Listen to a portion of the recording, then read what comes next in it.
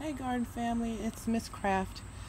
Um, I was doing some reorganization of my garden area because I want to add a few more beds, um, especially since I'm looking to grow like larger crops, larger size crops like collards and things like that. So I wanted to add some more beds. And when I went to move one of my um, one of my pots, I noticed that my tomatoes were being decimated. So we are now on the hunt for the little bugger um, to see where he is. Um, the hornworm um, actually really weren't that bad this year. I mean, my, my larger bed, if you can see I broke, I gotta fix that. But anyway, the larger bed really wasn't that bad. Um, I found like maybe four total for the year, so that's not bad. Um, but still, you know, you want to be able to keep your tomatoes as long as you can. Um, and with this being the last hurrah, um, I want to see if I can get a few more before it's all said and done. So let's go hunting. When I first noticed this one here, this tomato plant here, under here, um, was full one day and then it wasn't. Um, and then I looked down underneath and sure enough I saw a bunch of droppings. They're all dried up now, but um, but I couldn't find him. So I said, okay, let's keep looking, let's keep looking. So then I got my, um, okay, so anyway, this one's gonna be um, a no-go for the rest of the season, so I might as well pull that up. Um, but then I went around to my black cherry and it's still small. Uh, like I said, this was a last end of season rescue. I didn't expect much from it, but you know, you always want to give it a try. But anyway, I don't see any damage on this one, so we're, we're good on that one. Now, this vine right here is one leg of one plant that I let uh, fall to the side, which is fine. Like I said, it'll just root and find, find some more nutrition elsewhere. But it was actually a topper off of the yellow tomatoes over there. Uh, when I went to prune it back, um, I pruned the top and uh, planted it and it came to be over here. So this vine was fine. But as I come around the corner here,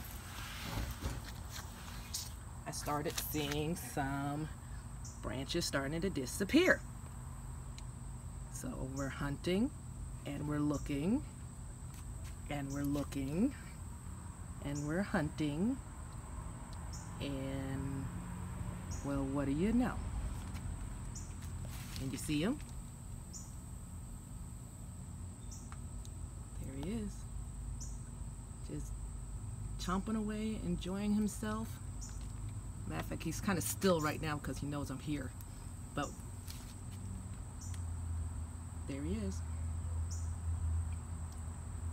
So we're going to give him his last meal on this plant.